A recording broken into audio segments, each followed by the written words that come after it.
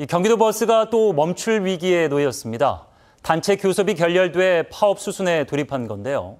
이 상황이 바뀌지 않는다면 오는 30일부터 경기도 전체 버스의 90% 이상이 운행을 중단하게 돼 출퇴근 대란이 불가피할 전망입니다.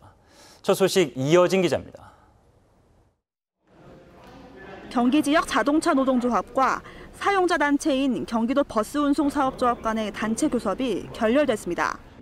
노조는 장시간 운전과 저임금으로 인한 인력 유출 해결을 위해 일일 2교 대제 전환과 서울시 수준의 임금 인상을 요구했습니다.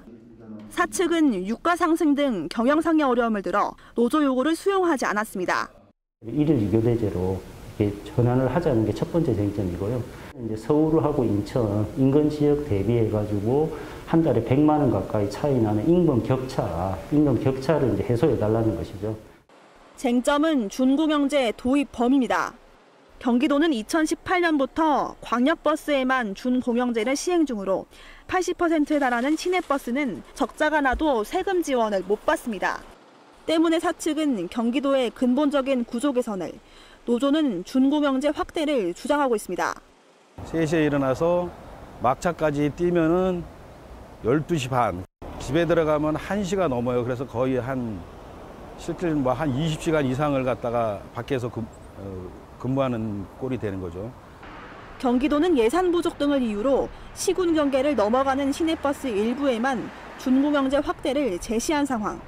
전체 노선 버스의 10% 수준으로 노조는 물론 사측도 난색을 표하고 있습니다. 천개 노선만 한다는 거 아니에요. 10% 부분은 조합에서 이걸 어떻게 감당을 하냐 이거죠. 경기지방노동위원회에 노동장의 조정 신청서가 제출됐고 조정회의가 결렬되면 노조는 오는 30일 첫 차부터 총파업에 돌입할 계획입니다. 이번 교섭에는 경기도 47개 업체 노조원 18,000여 명, 경기도 전체 노선버스의 92% 수준인 1,600여 대가 참여했습니다. OBS 뉴스 이어집니다.